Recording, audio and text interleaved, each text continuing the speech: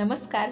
आपल्या सर्वांचे स्वागत आहे माझ्या यूट्यूब चॅनल समथिंग न्यूमध्ये विद्यार्थी मित्रांनो आज मी तुमच्यासाठी मराठवाडा मुक्तीसंग्राम दिनानिमित्त अतिशय सोपे व छोटेसे भाषण घेऊन आले आहे. व्हिडिओ आवडल्यास व्हिडिओला लाईक व चॅनलला सबस्क्राईब करायला विसरू नका. आदरणीय व्यासपीठ ईश्वर तुल्य गुरुजन वर्ग आणि माझ्या बालमित्रांनो मी राजश्री मुंडे. आपल्या सर्वांना माझा नमस्कार. आज मी येथे मराठवाडा मुक्तीसंग्राम दिनानिमित्त दोन शब्द बोलणार आहे. ते तुम्ही शांतपणे ऐकून घ्यावे ही विनंती. पंधरा ऑगस्ट एकोणीसशे सत्तेचाळीस रोजी आपला देश स्वतंत्र झाला. पण हैदराबाद संस्थान भारतात विलीन होण्यास तयार नव्हते. त्याने आपली राजवट अधिक जाचक केली.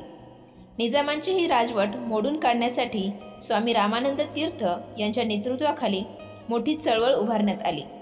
या चळवळीत मराठवाड्याच्या स्वातंत्र्यासाठी अनेक वीरांनी आपल्या प्राणांची आहुती दिली. सशस्त्र बळाचा वापर केल्यामुळे निजाम शरण आला व सतरा सप्टेंबर एकोणीसशे अठ्ठेचाळीस रोजी मराठवाडा निजामांच्या गुलामगिरीतून मुक्त झाला. त्यामुळे दरवर्षी सतरा सप्टेंबर हा दिवस मराठवाडा मुक्तीसंग्राम दिन म्हणून साजरा केला जातो.